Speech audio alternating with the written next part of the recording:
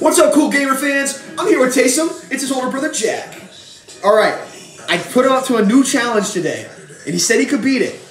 Right in front of us, we have eight Kraft cheese sticks, and he said he can eat them in 10 seconds. But I'm up to give it a shot. What do you think, Tay? Or cool gamer? You gonna do it? I don't know. Okay. 10 seconds on the clock. Eight cheese sticks.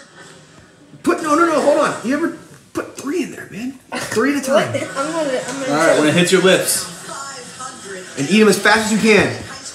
go. One. My gosh. Can he do it? Can he do it? He's almost there.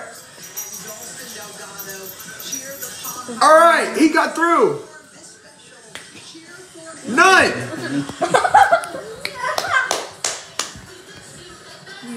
he failed the challenge.